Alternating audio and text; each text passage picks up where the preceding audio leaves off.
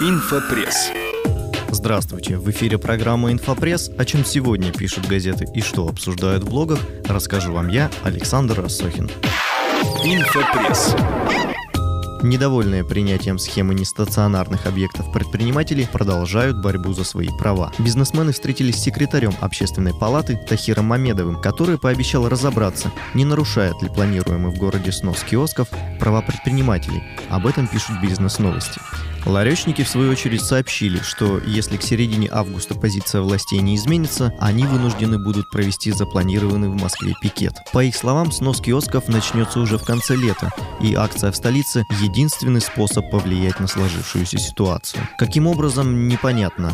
Скорее всего, максимум, что из этого получится, это лишний инфоповод столичным журналистам в очередной раз упомянуть регион в дурном свете.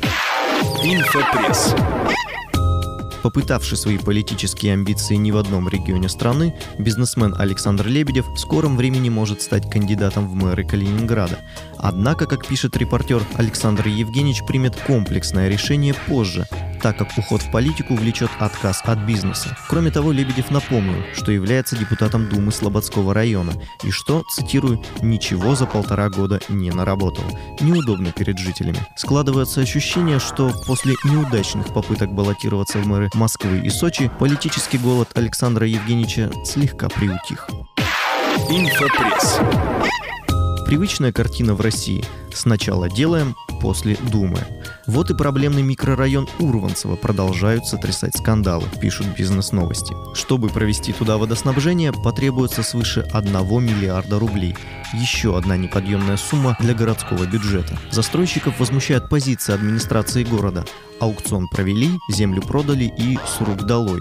А кто будет решать вопросы водоснабжения и дорог, неизвестно. Но, как заявил замглавы администрации Алексей Лопаткин, строительство шестой нитки водовода Корчомкино-центр позволит снять напряженность ситуации. Так это или нет, покажет уже самое ближайшее будущее. Однако администрация в ситуации Сурванцева выглядит как напуганный слепой котенок, который мечется из стороны в сторону, натыкаясь на новые преграды. Инфопресс.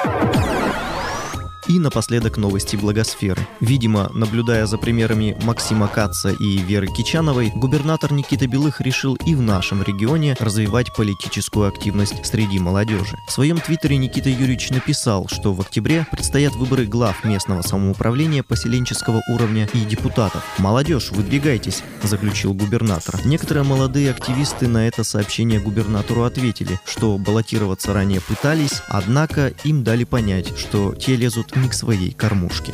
Удачи в делах. Это был Инфопресс с Александром Рассохиным. Инфопресс.